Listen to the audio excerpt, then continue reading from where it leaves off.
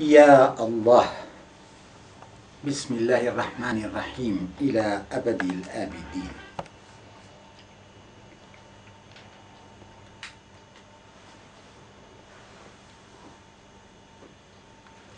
موضوعنا اليوم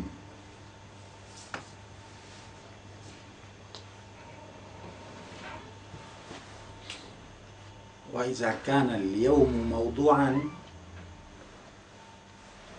إذا كان اليوم هو الموضوع يعني نحن في الزمان. حيث نكون من الأمكنة الزمان يحدد لنا الحركة. الزمان حركة اليوم حركة لأنه يومي. نحن في اليوم. الإمام السجاد وضع هما عظيما. في مسألة اليوم فاعتبر اليوم هو الحكاية وهو المنهج إلى الغاية. فإذا كان اليوم يوم أحد كان دعاؤه دعاء الأحد. وإذا كان اليوم اثنين كان دعاؤه دعاء الاثنين. وإذا كان اليوم ثلاثاء دعا دعاء الثلاثاء. وإذا كان اليوم هو الأربعاء كيومنا هذا التاسع من آذار الرابع من ربيع الثاني كان دعاؤه يوم الأربعاء أو دعاء الأربعاء. فإذا نقل إلى الخميس كان دعاء الخميس. وإذا صرنا في الجمعة كان دعاء الجمعة. وإذا صرنا في السبت دعا زين العابدين. الإمام السجاد أبو محمد الباقر وابن الإمام الحسين ابن الإمام الثالث. نحن اليوم في الشهر الثالث من أشهر السنة يعني ربيع شهر آذار هو الشهر الثالث ربيع الثاني هو الشهر الرابع. إذا موضوعنا اليوم لا غير. لأن اليوم يومي إلى الزمان كله. المسؤولية العظمى هي التي يقدمها الإمام السجاد لكل العباد. كل أجيال العباد في هم السجاد.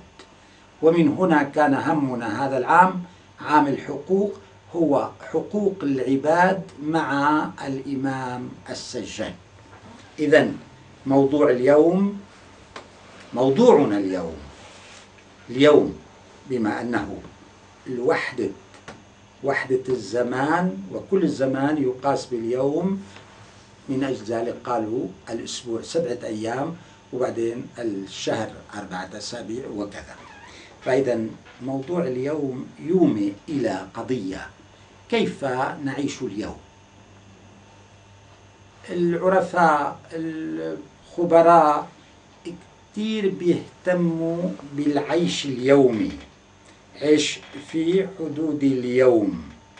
لا مستقبل يجدي ولا أمس لدائك شافيا مهما تحدثت عن عن مكان لا تستطيع بالمعنى الحسي أن ترجعه ومهما استطعت عن الغد لا تستطيع أن تصل إليه حتى تصل. لذلك يمكن عديد من كتب العلم التربوي أو العلم النفس الذي يشخص ما في نفوس البشر من الهموم يقول لهم احصروا همكم في يومكم. كونوا موضوعيين. عيشوا يومكم.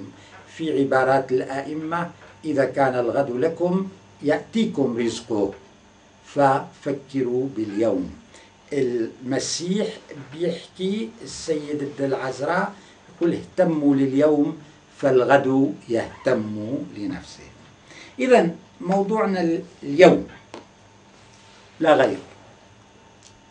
حضراتكم شرفتم اليوم.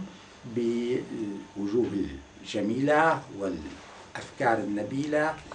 تساءلت معكم عن ما تفكرون به مثلا سورة كل من كل منكم عنوان يوم كل منكم.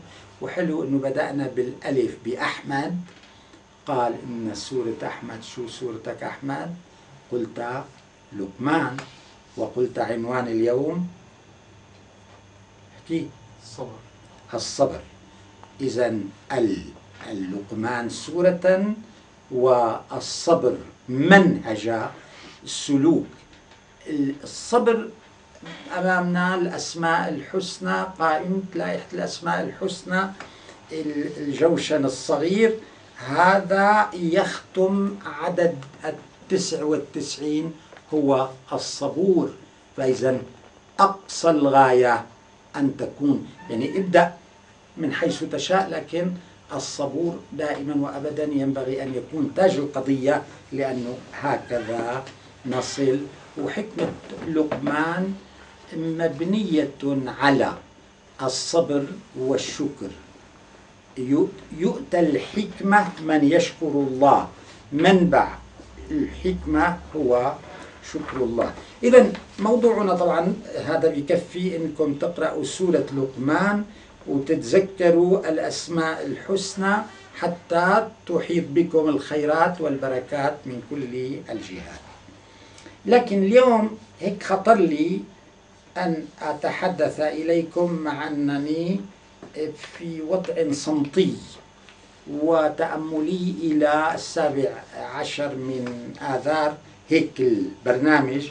لكن عندما يشرف الأحبة ويشرف الصابرون فبصير بخاطري إنه يعني من باب الضيافة بدل فنجان القهوة بدل الشاي بدل الطعام بدل كذا فلتكن الكلمات أيضا ضيافات.